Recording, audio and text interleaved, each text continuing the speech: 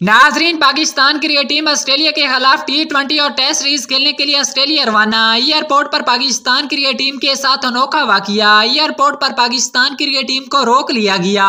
ناظرین، پاکستان کی ٹیم کو ایئرپورٹ پر کیوں روکا گیا؟ اس ویڈیو کے ذریعے آپ کو بتائیں گے، اور پاکستان اور آسٹریلیا کی ٹیموں کے درمیان کتنے ٹی ٹوینٹی اور کتنے ٹیسٹ میچوں کی سیریز آسٹریلیا میں کھیلی جائے گی؟ اور اس سیریز کا پہلا ٹی ٹوینٹی میچ کب اور کتنے بجے ہوگا؟ تمام تر اپڈیٹ آپ کو دیں گے ہے آج کی اس ویڈیو کے ذریعے۔ تو اس لیے آپ دوستوں نے اس ویڈیو کو شروع سے لے کر اینڈ تک لازمی دیکھنا ہے اور ویڈیو کو لائک اور چینل کو سبسکرائب کر دینا ہے۔ ناظرین، پاکستان کرکٹ ٹیم آسٹریلیا کے خلاف ٹی ٹوینٹی اور ٹیسٹ سیریز کھیلنے کے لیے آج لاہور ایئرپورٹ سے آسٹریلیا کے لیے روانہ ہو چکی ہے۔ پاکستان کرکٹ ٹیم آسٹریلیا پہنچ کر تین دن ریسٹ کرے گی۔ اس کے بعد اپنی پریکٹس سیشن کا آغاز کرے گی۔ پاکستان اور آسٹریلیا کی ٹیموں کے درمیان تین ٹی ٹوینٹی اور دو ٹیسٹ میچوں کی سیریز آسٹریلیا میں کھیلی کھیلی جائے گی۔ ناظرین، اس سیریز کا پہلا ٹی ٹوینٹی میچ بیس جولائی کو کھیلا جائے گا۔ دوسرا ٹی ٹوینٹی میچ بائیس جولائی کو کھیلا جائے گا۔ اور سیریز کا تیسرا اور آخری ٹی ٹوانٹی میچ چوبیس جولائی کو کھیلا جائے گا۔ ناظرین، یہ تینوں T twenty matches Pakistani time table کے مطابق صبح ساڑھے آٹھ بجے شروع ہوں گے۔ ناظرین، Pakistan, A team Australia, A کے خلاف ٹی ٹوینٹی اور ٹیسٹ سیریز کھیلنے کے لیے آئی لاہور ایئرپورٹ سے آسٹریلیا کے لیے روانہ ہوئی، لیکن پاکستانی ٹیم کو ایئرپورٹ پر روک لیا گیا۔ کیونکہ پاکستان اے ٹیم میں سے کچھ کھلاڑیوں کے ویزے میں ایشو تھا، جس کی وجہ سے پاکستان اے ٹیم کو تین سے چار گھنٹے ایئرپورٹ پر گزارنے پڑے۔